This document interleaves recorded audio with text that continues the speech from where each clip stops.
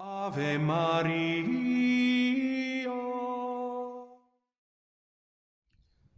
In the name of the Father, and of the Son, and of the Holy Spirit.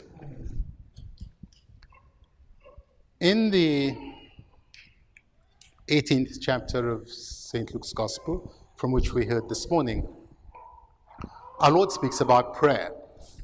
In the first part, he spoke of the, the parable of the widow who came to the judge asking for justice, and the judge delayed.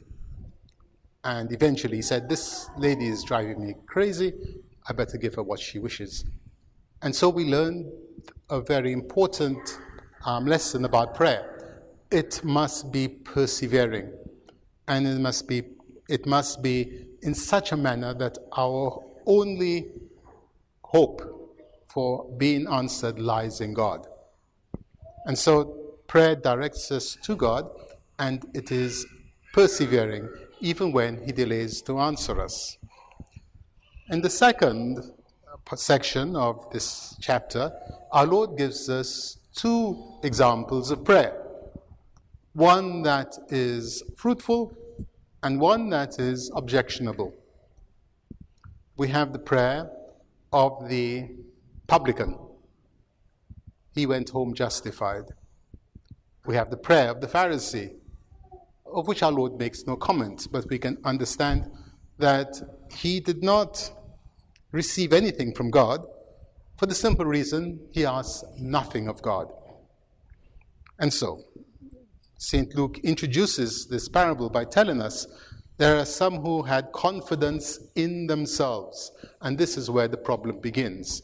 That unlike the widow, we're not totally dependent on God, having no trust except in the whining that we, we, we offer up each day, complaining about the same thing again and again and again and again until it is answered.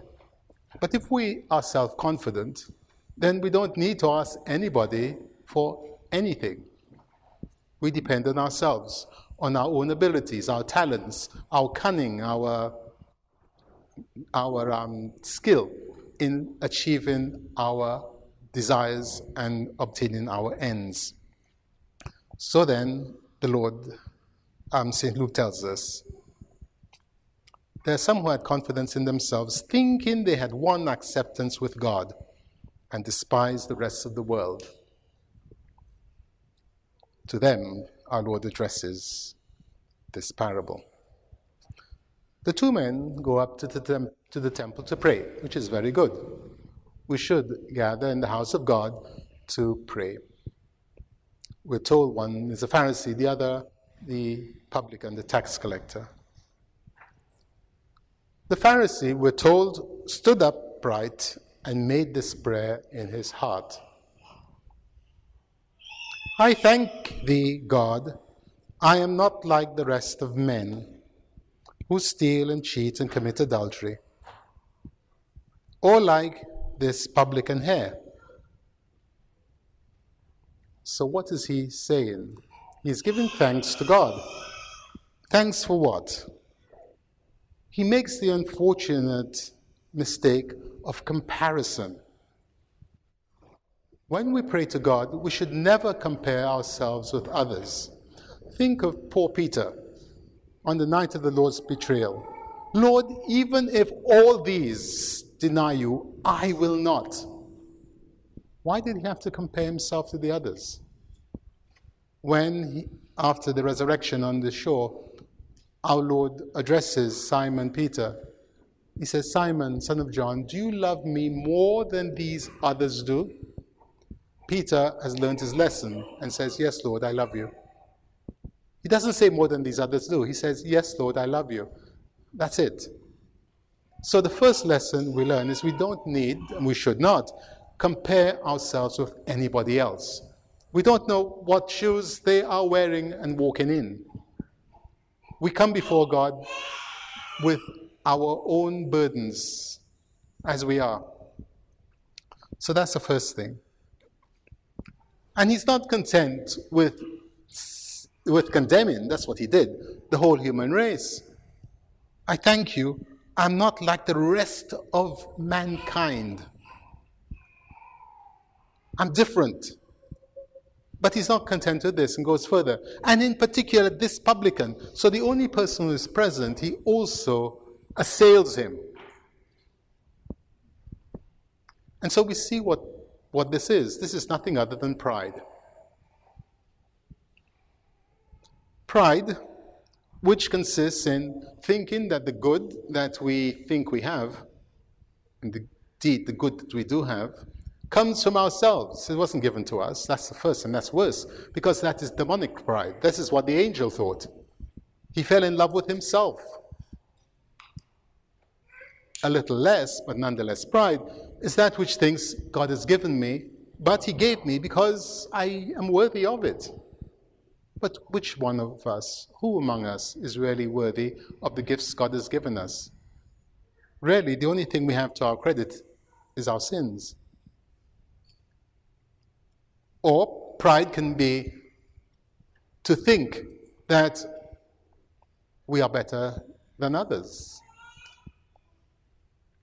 and that we are different from others.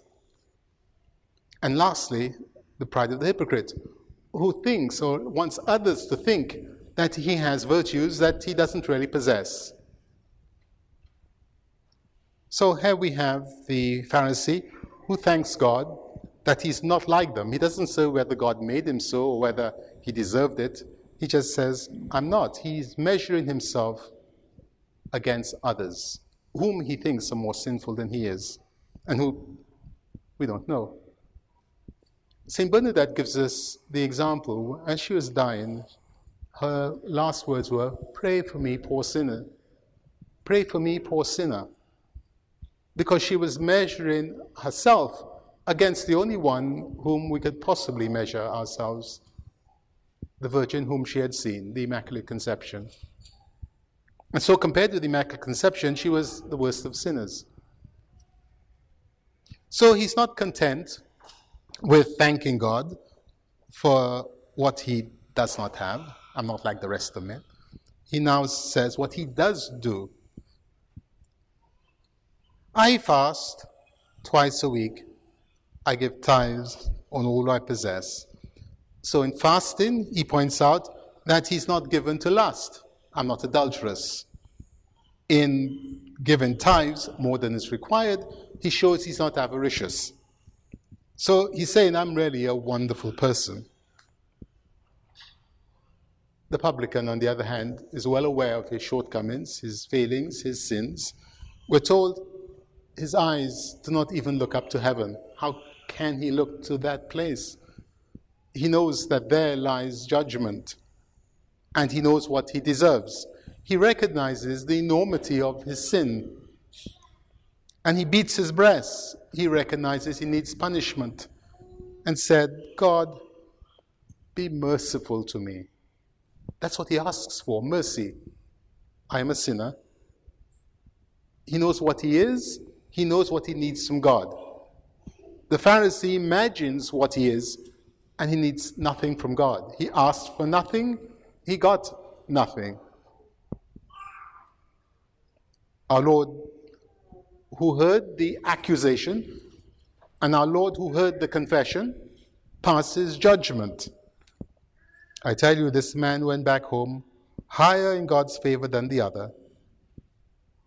He obtained what he wished. Everyone who exalts himself will be humbled, and the man who humbles himself will be exalted.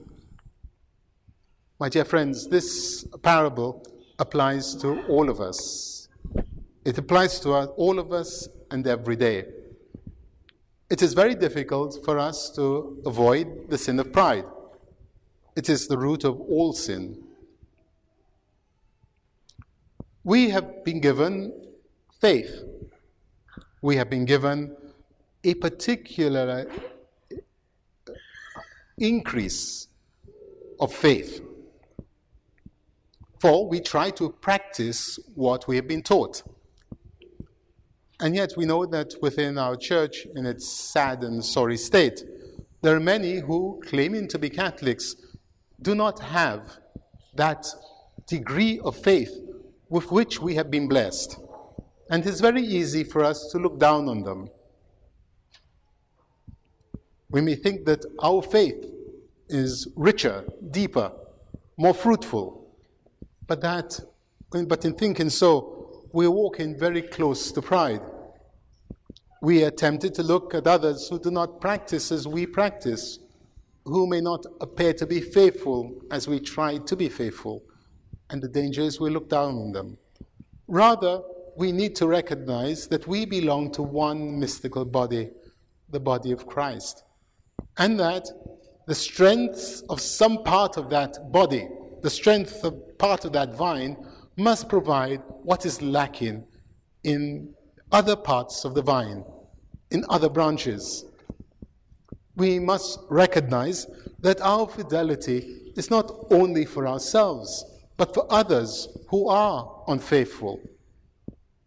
Don't forget what Our Lady said to the children at Fatima.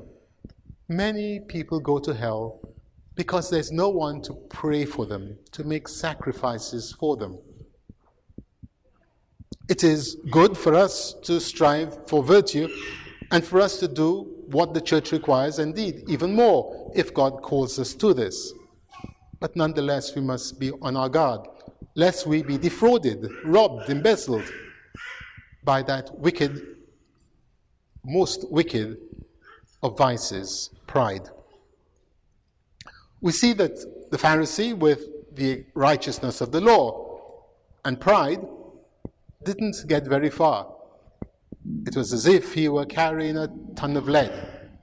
Whereas sin, the publican, and humility flew like a sparrow, like an eagle. One righteousness with pride goes down sin with humility goes up. What would happen if we had righteousness and humility? Surely we ascend to the very throne of God. And therefore, whenever we pray, whenever we attempt a good work, let us invoke the Holy Spirit, asking Him to purify our intentions, to make our offering fruitful that it be beneficial to us and indeed to the whole mystical body of Christ, his holy, Catholic, and Apostolic Church. In the name of the Father, the Son, and of the Holy Spirit.